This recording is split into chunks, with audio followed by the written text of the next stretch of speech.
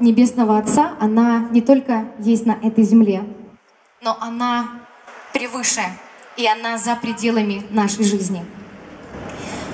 На Майдане, когда начался Майдан, очень много людей, они выходили на улицы, они ставили палатки на этом же Майдане, чтобы молиться за людей и за наших ребят, и за тех, которые наступали.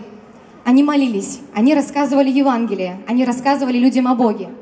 И одна наша девочка из нашей церкви, она поговорила с одним молодым человеком. Он захотел услышать о Боге, он захотел понять, кто он такой, познакомиться с Богом. И она ему рассказала, кто такой Бог.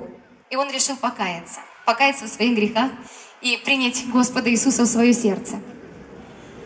Он покаялся и вышел из этой палатки абсолютно счастлив, зная, что теперь ничего плохого с ним случиться не может, потому что он в руках Господа. И в этот же день он был убит. Это был молодой парень. Но каждый из нас знает, куда он пошел и куда пошла его душа. Потому что Господь, Он превыше неба, превыше жизни и превыше смерти. Мы несчастные люди, если надеемся на Господа только в этой жизни, сказал также апостол Павел.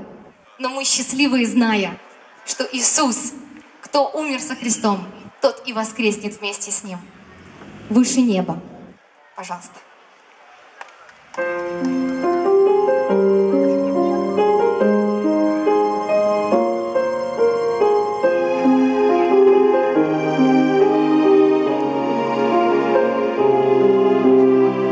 Как тебя постигнуть, скажи понять чудеса твоих небесных дел?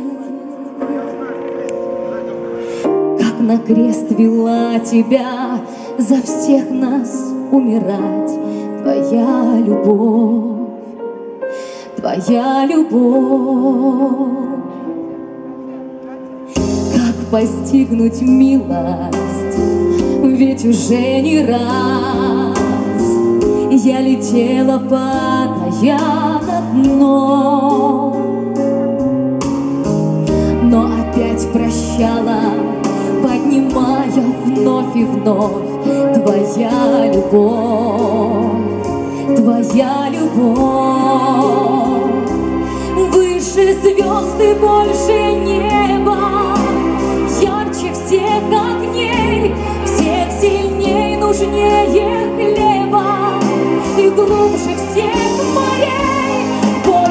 жизни, больше смерти.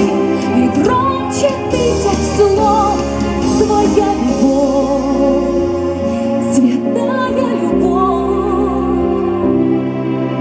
С каждым мигом ближе звук твоих шагов, с каждым днем быстрее бег часов.